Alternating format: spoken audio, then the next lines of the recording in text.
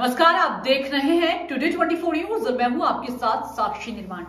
आइए शुरुआत करते हैं आज की कुछ बड़ी खबरों से।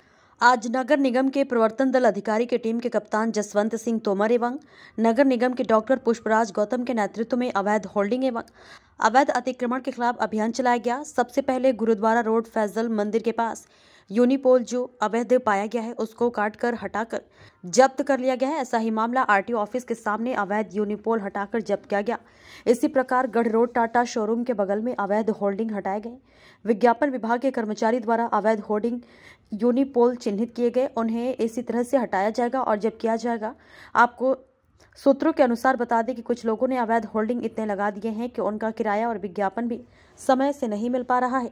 केवल किराया तीन होल्डिंग का नगर निगम में जमा होता है और लगभग 50 से 60 होल्डिंग एक ही ठेकेदार के अवैध मेरठ महानगर में लगते हैं और नगर निगम पर उसके बाद दबाव बनाते हैं। अगर जो इनकी जाँच पाई जाती है तो लाखों रुपए महीना राजस्व सोली नगर निगम को प्राप्त होगा, जो कि विकास और कर्मचारियों की वेतन बढ़ाने के काम आएगा।